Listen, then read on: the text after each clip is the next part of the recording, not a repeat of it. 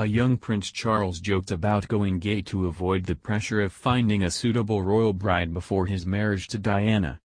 The heir apparent's quip was made as a student at Trinity College Cambridge, according to a new TV series on the Queen's Children. Presented by Jeremy Paxman, it includes recollections by Broderick Munro-Wilson, a friend of Charles who was with him at Cambridge. He recalls a newspaper article featuring several potential brides for the bachelor prince that prompted Charles to crack the joke.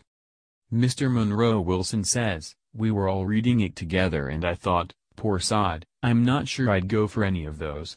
He said to me, Brod, shall I go gay? That is a fact. We all roared with laughter and moved on. I think the market was so narrow. And of course she had to be a virgin.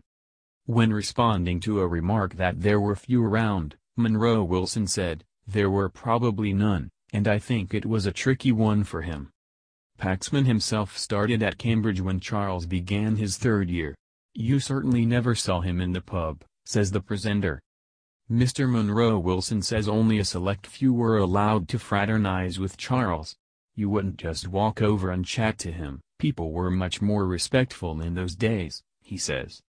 When one talks about being a friend, Rab, Lord, Butler, who was master of Trinity at the time, really decided there were about two dozen guys that were suitable for him to mix with.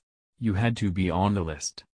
Asked how fellow students felt about Charles being admitted to Cambridge with indifferent A-levels, he says, I don't think anybody cared a monkeys. Nobody would have dared to.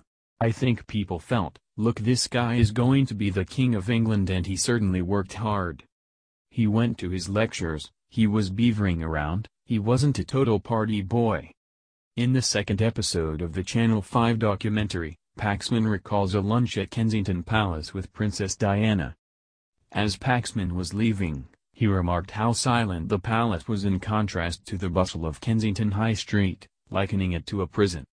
Diana replied, no, more like an upmarket Coronation Street, you can see all the curtains twitching. Paxman on the Queen's Children will be shown on Channel 5 on Tuesday at 9 p.m.